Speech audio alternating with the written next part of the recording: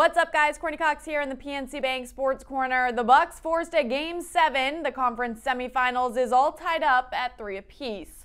Game 6 was a 104-98 win for Milwaukee with Khris Middleton and Giannis Antetokounmpo going off and combining for 68 points, 27 rebounds, and 8 assists.